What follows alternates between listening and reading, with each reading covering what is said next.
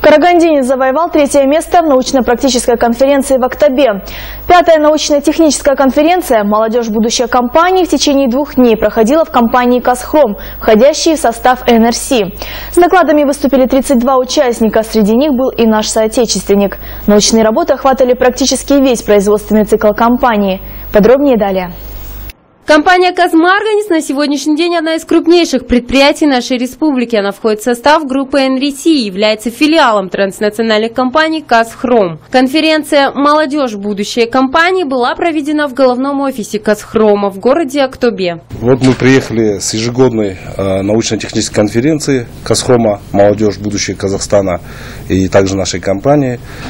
Э, там были представлены ряд работ молодых э, специалистов, работников Казхрома и э, группы ИНРИСИ. Ежегодно свои научные труды на данном мероприятии представляют специалисты со всей республики и соседних стран.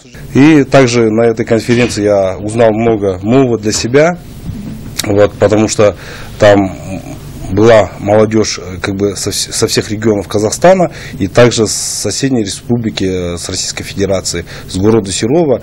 Э, и как бы дала новых, много новых впечатлений, много опыта во-первых, изъяли, столько было колоссальных новых работ, которые действительно покорили своей простотой. На конференцию поехали представлять шахтерскую столицу несколько работников Казмарганца, в том числе и техник производственно-технического отдела Алмаз Алиев. По итогам мероприятия Алиев занял третье место со своим проектом «Мониторинг технического состояния нового оборудования, влияющий на качество и технические показатели продукции». Как говорит участник, данная конференция очень полезна для развития профессиональных навыков конференция, она такая насыщенная была и как бы полезна для нашей молодежи. Я думаю, что э, все фирмы, которые все работают в нашей стране, в Казахстане, будут также отталкиваться от Казхрома и, и проводить такие же конференции, которые будут продвигать нашу молодежь только вперед.